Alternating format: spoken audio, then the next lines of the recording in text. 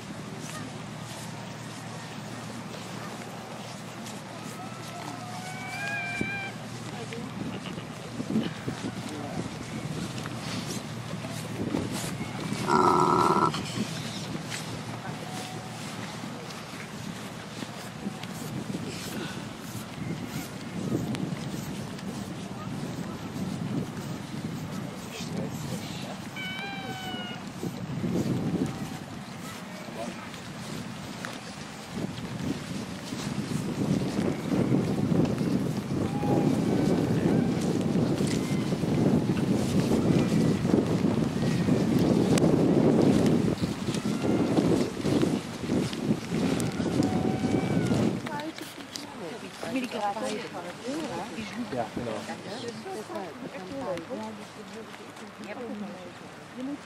Da hinten, ja.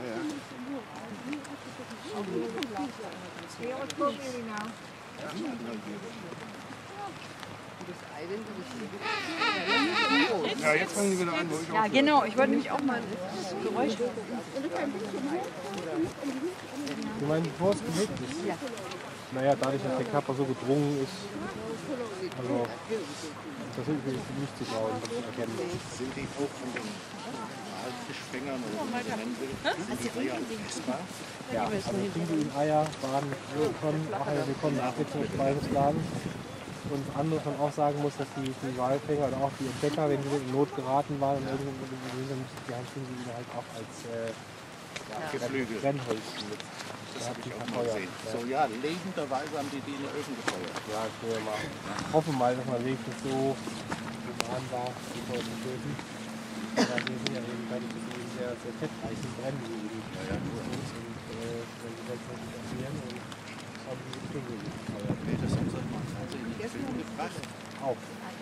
Auch. Also hat auch Pinguine gegessen.